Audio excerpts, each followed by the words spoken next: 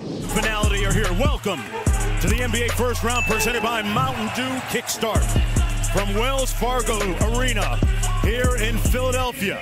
They're back in the playoffs for the first time since 2012. Game one against the Miami Heat, the number six seed in the Eastern Conference. Here's 10 on the shot clock for Winslow out top. Nice. And good Great blitz. play. Great They play. come up with the steal. Redick, How about that?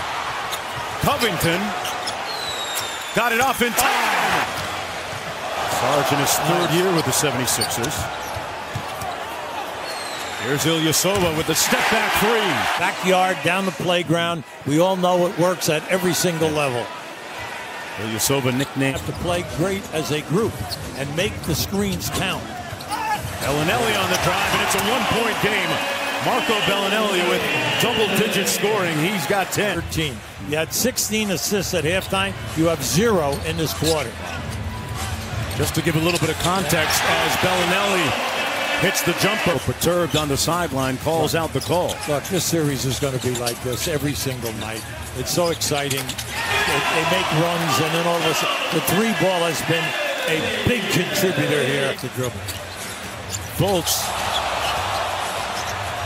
Oh, that's a lot of sauce. Uh, that's a lot of sauce for Markelle Fultz.